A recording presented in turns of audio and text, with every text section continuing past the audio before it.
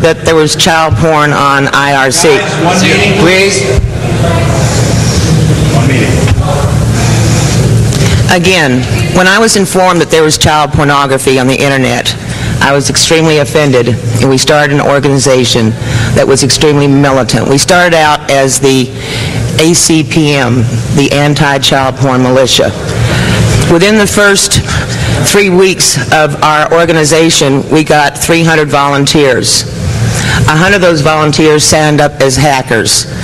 We thought that there was a solution if there's child porn on a server, let the boys go out there, hack the server, remove the information. If there was child porn on an ISP, notify them, have them to remove that information. As you all know, that information is backed up on CDs, other hard drives. That does absolutely no good. When we came here last year to DEF CON, we were looking for hackers. While we were here, one of our board people, one of the people in our organization, said something that I really paid attention to. You cannot stop a felony with a felony. Our main goal is to put these people in prison. That is the only way they're going to stop dispensing child pornography and wounding children and killing children.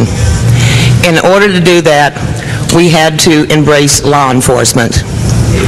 We now work directly with law enforcement, other organizations such as uh, Missing Children, FBI, U.S. Customs, UNESCO.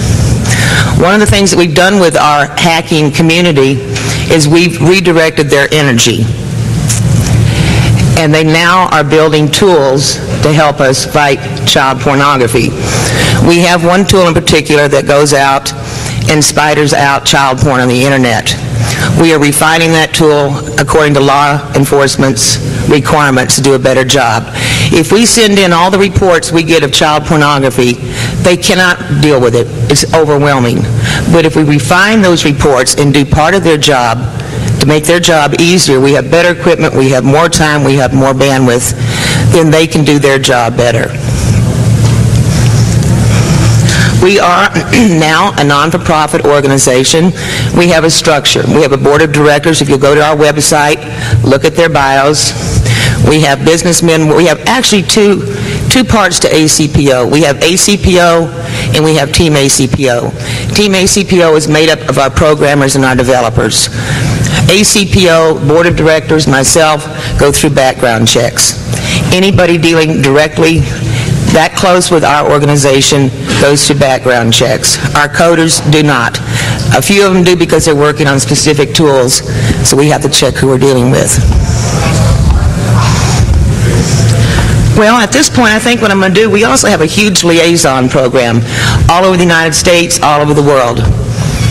Uh, one of the goals of the liaisons is to look for law enforcement contacts. This is Deke Quest. Uh, he's our French liaison and our European representative. Hi, uh, hi everyone. Uh, as she told you, I'm coming from from France. Uh, I'll take care of the uh, take care of the uh, European part of uh, ACPO because this child porn thing is not only a, uh, a disaster in in America, but also over Europe, where we do have like a lot of um, child porn, not only website, but a really well organized system. Uh, one of my job in uh, with ACPO is to take care not only uh, to get contacts, like for example we get really good contacts at the UNESCO uh, because we are an official, as Natasha said previously, uh, with a non-profit status now. It's like a real organization, not only a website. And we're trying to build like a big network of contacts in official uh, agency all over Europe because uh, it's really important to to take care of this part of the uh, of the uh, of the continent. Uh, the other thing is um, about the team ACPO, as Natasha said previously. we do have uh, many programmers who, who join us directly by our website uh, because we're trying to build a lot of tools, um, different uh, in different language, running on different platforms. We can use to automatize the maximum of the task because we went like when we started two years ago from single copy and paste from a submission from the website uh, to now feeding directly databases uh, with all the information, all those reports we get from website, from emails. And it saved a lot of time. It, it will help us to be more efficient on the result and all the information we will grab from those, uh, from those reports. The other part uh, for Team ACPO is to build some kind of donationware, is uh, to make some software running on different operating system uh, that family will be able to use at home just to make sure the kids are surfing uh, and don't see this kind of, uh, of pictures or those kind of, of website. Uh, so that's one of the biggest uh, plan we got at this time is to release uh, 100% cross-platform software uh, to filter not only with keyword, not only with keywords but with other technical parts to prevent this from happening to, to, to kids. Um, so we're working on this, and that's why we need some programmers uh, for this Team ACPO. No matter of the skills you have, it depends because we we not focus on any language at this time to to build this kind of of software or. Uh, any people with C++, with Perl, with any language would be really helpful, helpful to, uh, for us, uh, to us for the website part, for making the softwares, uh, for creating those databases, and um, I think there's a lot of a lot of job to do on this part. Uh, the other point is uh, about our needs. Of course, we need some, not only uh, software, not hardware, uh, but we need bandwidth. At this time, all our information are gathered on computers around the world.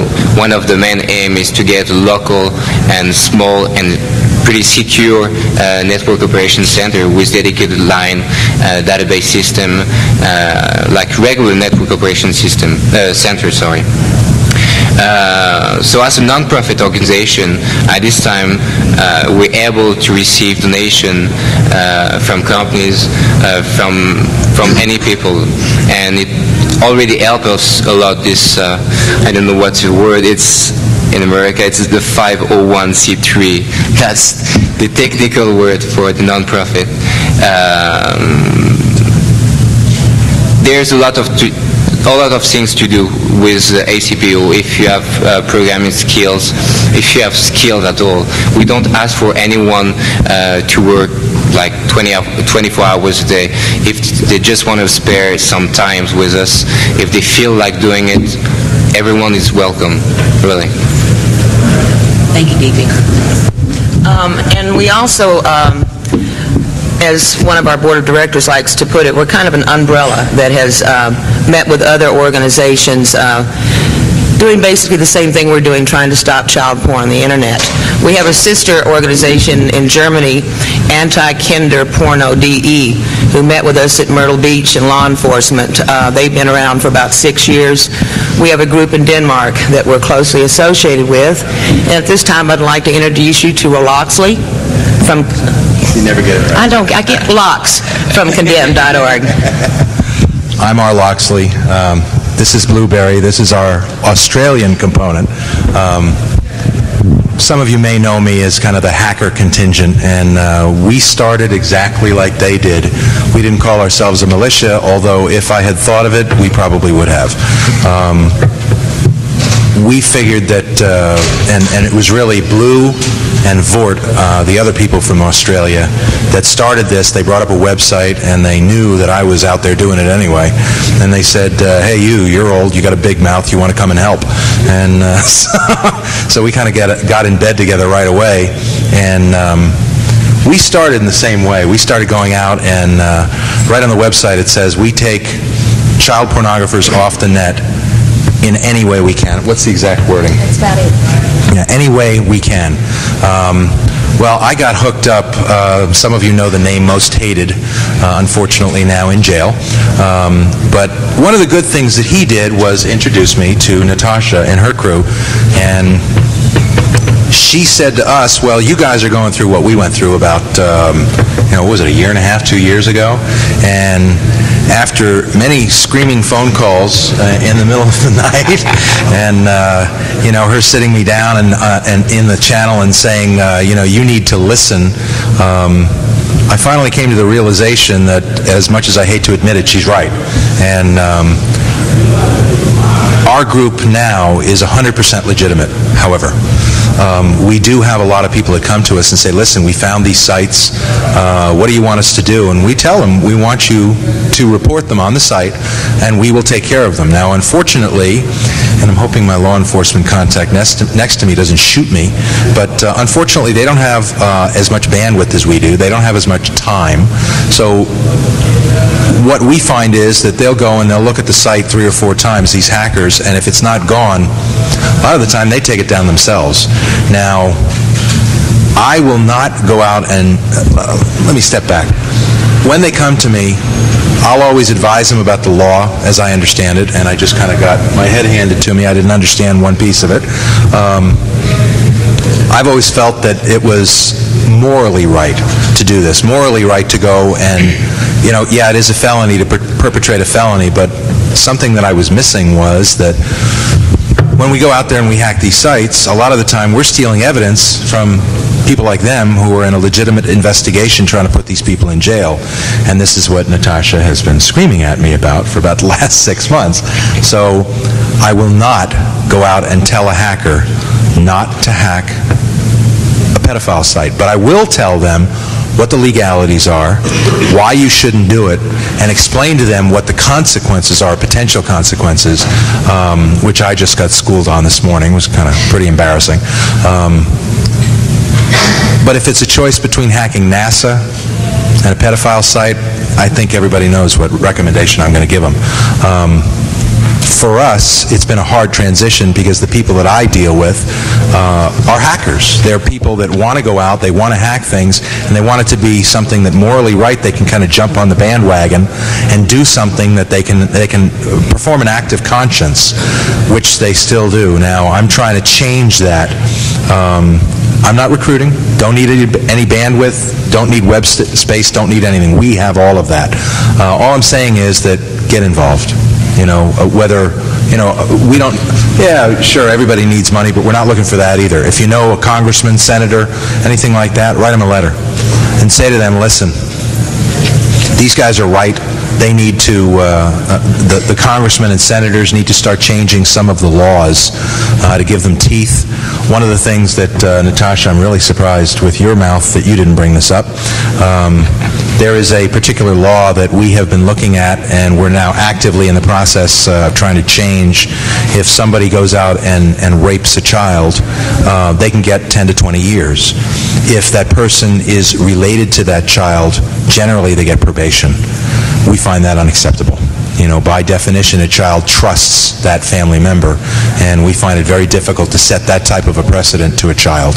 And nobody knows that. That's the thing. So that's one example, please. Just get on the phone. If you know senators, congressmen, just in your home states, just write them a letter and say, go look at condemned.org and see if you can help us. That's all. That's all I ask. And uh, did you want to say anything? This is Blueberry. Hopefully you can understand her accent. Hi. Um, I just want, I've had a thought that I really think the industry should start regulating itself. I'm talking about the people who run web hosting services.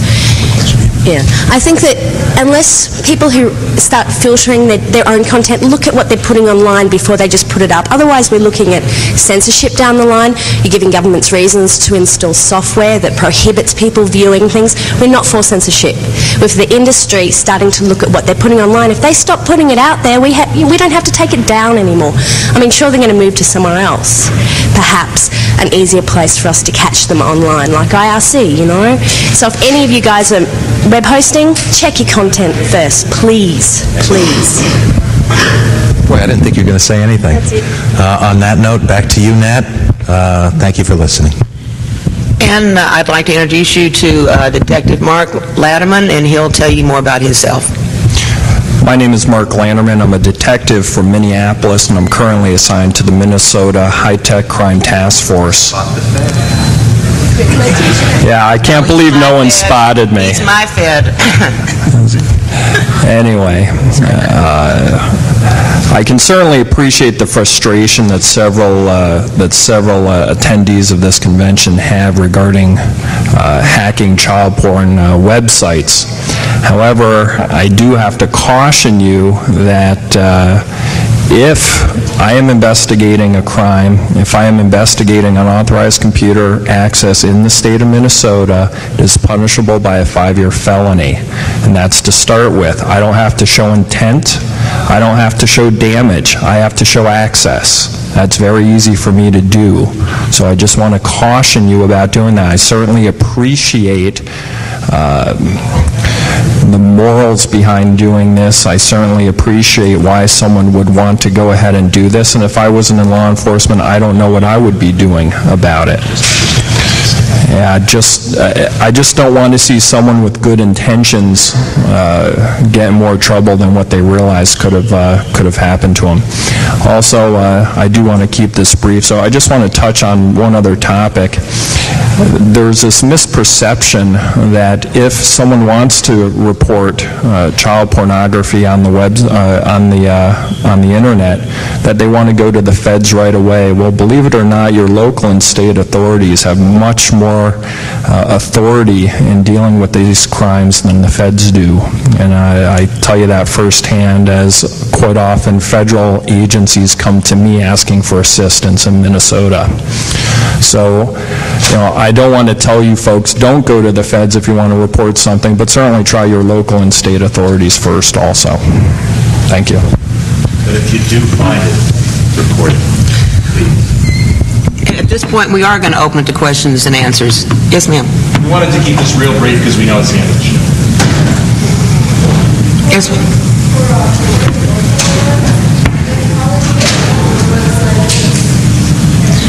Well, that's one of the things that we're doing uh, with Team ACP. She wants to know how we're going to know where the website is. That's one of the things that Team ACPO has done, is written a script now. So all our reports run through a process, and not only do we give them the URL, but we give them the DNS, the IP, who is, all the other information we can. The next step of that, and that goes off to uh, NCMEC, uh, Missing Children, Customs, and the feds. After that, if we find that the site is in Alabama, then if you're the Alabama liaison, you will have given us law enforcement connections in Alabama. It will be sent to them also. Go, Phil, go! I can actually speak fairly loudly if you want. Um, I'm curious, uh, can you, you can only do things about uh, sites here in the United States, right? I mean, No. That's... uh, really? Yeah, for- We have law enforcement contacts in a lot of different places in the world. We are by no means to where we should be in terms of, uh, of our contacts. So if you know somebody, we need help. you know? And we'll never have enough because it's, it's such a global problem. Uh, uh, Nat, you can kick me if I talk too much. Go ahead. But it's such a global problem that people just don't understand. It's everywhere. And for every site we take down, you know, 10 are put back up. That's why the time delay is so important with law enforcement as well. If you're looking at eight weeks before they're even viewing the site to read it, it's too long. It's too long. Laws have to be changed, it has to come down really fast. It's like a weed. You've got 20,000 people downloading those images, putting them straight back up. So you really, please try and lobby, lobby, lobby to get, really get law enforcement this is to cut down these times. Liz, this is one of the things that we're doing too, is we're going to address the, there are people out there, I didn't, know- I knew there's porn out there, but I didn't realize it's child porn. Uh, and there's a lot of people that don't realize it's child porn. There's old ladies with computers. Um, Grab the, grab the mic. oh, I think you can hear me, can't you? No. Uh, if it-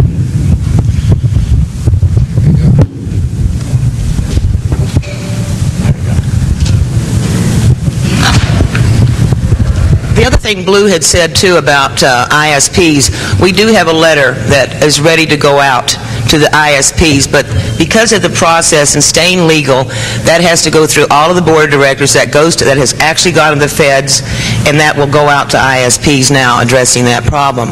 Something else I wanted to say too, um, we were sent some information to send over to law enforcement. We were sent 11.5 megs of text off of a uh, child porn BBS. I spent three hours deleting inf- information that someone, in their good intentions, had tried to crash that BBS and shut it down. It took me three hours. I had to send it to a professional organization da- database. It took them another five hours before we, before we could even start to look at this information to send to the FBI. So a lot of times, like it was mentioned before, and then the evidence that we had gotten before, they did eventually shut this BBS down and a couple others, we lost the evidence that we had ready for law enforcement. So um, from my point of view, please, if you know of a site, report it. If you have a problem, you know, mail, uh, don't shut down these, uh, these, some of them being watched. And that's that's another point uh, we agree because uh, ACPO and Condemned.org. I mean, we we don't have to forget that the the main aim is exactly the same, is to prevent to take the child porn from the, to take out the child porn from the internet. After we won't argue about the the way we will do it. It's different organization, but there is something for sure is we won't cross our we will cross maybe sometime our our roads on several sites, and that's why exchanging informations. Uh, it's not because it's two different organizations that we won't speak to each other. That's why today we are sit at, we are at the same table, is to make sure we don't make them waste some time on the site or if they, they don't do it they don't make us waste some time on the, on the site we're working on. And this is really important uh, to get those kind of contacts with all those kind of uh, with all those organizations Ken Williams, the case with yeah, that's that's another example. Uh, we also, at the time of ACPM, something like a year ago, uh, one of my friend, Calvin Williams, uh, from A- H-APE, uh, Ethical Hacker Against Pedophilia. The ex-packet storm, Ken Williams. Yeah, also known as Packet Storm. Working, uh, we were working on a Russian site, like awful pics, because uh, when we're talking about child porn, just forget the 10 years kids. We're talking about three or four years babies having sex with adults. And we're trying to do the maximum to, to grab information and to work on this case. And just mail him to know if he had some information and everything. And he just told me, mail me back like a few minutes after say, dear Quest, just stop it. We're working on this case for at least six months with Interpol, which is uh, the equivalent of, uh, uh, of a federal agency in Europe, but uh, working uh, all over Europe. And I mean, they've been working six months. And if we started to, to work on this case without trying to get information or anything, I mean, all their work would have been, what's the word? Word? For nothing. Destroyed. Yeah, for nothing, for nothing. That's why it's really important we we we still in contact with uh, with all those organizations. Much as I hate to admit it, hacking these sites uh, does destroy evidence, doesn't put the people in jail, doesn't allow them to be Bubba's girlfriend in jail, and so uh, it deprives me of a great pleasure of knowing that they're in there for a long time, really suffering, and they can't put their poison back up on the net. So as much as I hate to admit it with my kind of checkered past, um, they're right, Yes, sir. unfortunately. In the previous session, the gentleman said it took him three hours to detect who put out the love bug virus. Why does it take you people six months to get one of these sites that everybody's looking at uh, all day long? Yeah, the thing is, what I was saying about this, uh, you're talking about the Russian site I was talking about? Yeah. Uh, the thing is, uh, on the child porn thing, I mean, first when when I uh, when created when Natasha created uh, ACPM, I thought that was some kind of grandpa having a pic, couple pics of uh, porn, uh, child porn on their hard drive, but several cases showed us that it's a real mafia behind this. It's a well-organized network of child porn. Uh, some people say previously if we shut down the site, it's going to be restored. What it means is it's backed up. They have several servers. And, I mean, it's very well organized. And what they try to do on this case is to introduce and send some agents directly in Russia to get into this network, because this is a real mafia. Yeah, you can't, uh, unfortunately, in some cases, you can't jeopardize your life uh, to go after these sites. You have to find a way to get the site down without being killed, so... If I may, a second. Uh, Just to go to your question, uh, the Lovebug virus, uh, they also have databases of what people have done. This guy was previously up on the radar. What's going on now is pretty much, we're way behind on that level of having information about people and who they are. Someday, we would love to be there. Um, And really, that's what's starting to generate now with the work Natasha's doing and uh, Loxie's doing with generating this information, tracking down, and setting up these data warehouses for, for the lack of a better term.